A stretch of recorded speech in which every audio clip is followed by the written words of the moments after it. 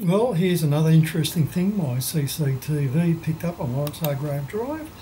Uh, I heard a bang and looked, and uh, then I checked the footage, and this is what happened. This car pulls up, this four wheel drive. Okay, now what's he up to? Well, uh, I don't know.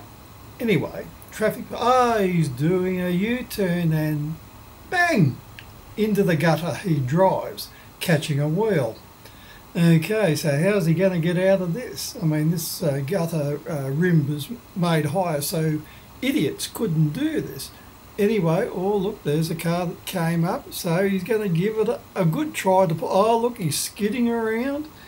Oh, there he goes. He's trying to pull the uh, vehicle out, and he does get it out, and off he drives slowly. I wonder how much damage he did. Anyway, it turns out he went down my street, so obviously he missed the turn. Usually they come up my street looking for Stanwell Park, thinking they're going there, but this case it was reversed. Thank you.